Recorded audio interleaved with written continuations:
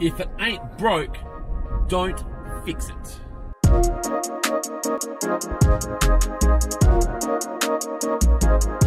Good morning and welcome to In the Car with Clint. Today I want to talk to you about making changes unnecessarily to your business.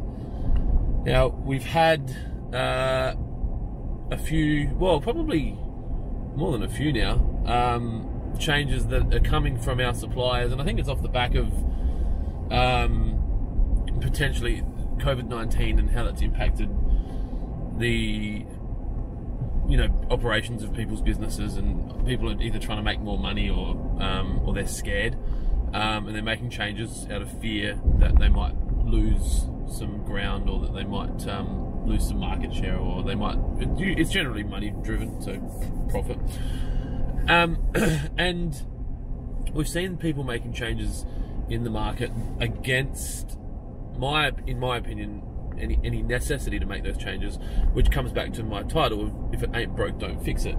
Because so much time can be spent by business owners and entrepreneurs, um, you know, looking at data and analyzing shit, and then making these micro changes or macro changes in some cases when they don't need to be changed.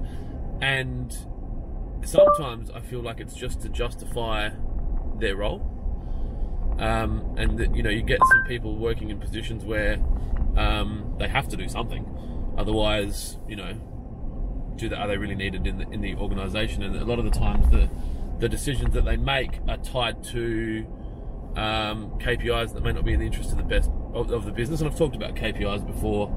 Um, you know, make sure your KPI well because you'll get what you deserve or you get what you ask for. But for, day-to-day operations of your business, I encourage you just be careful how many knobs you start tweaking and how many levers you start pulling because a lot of times um, as business owners and managers, we can go in and make changes to things that aren't broken, and in doing so, you'll actually break it. And you know, for the landscape community, this could be, um, you know, splitting uh, splitting groups up that have been working together um, because you think that, that one person might be talking too much on site or that, you know, putting different people on different sites because you think that, you know, a change is as good as a holiday. But in some cases, you know, things are working and these people are happy together and you shouldn't be disruptive of that. You know, there's products that, that work really, really well and it's hard because I don't want to encourage you to stop innovating. You know, I want you guys to make sure that you are um, continually trying to improve the way you do things but just be really, really careful around what changes you're making because sometimes, and it's really hard to know, and sometimes you're only going to learn after you do it, when you change something, you're not fixing it, you're actually breaking it.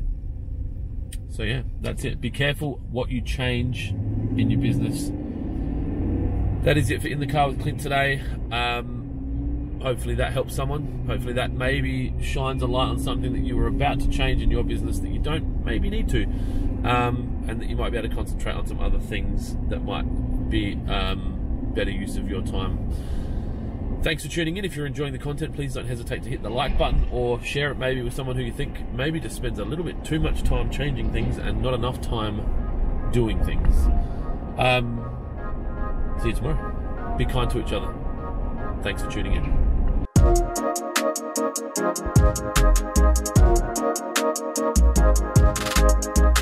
you.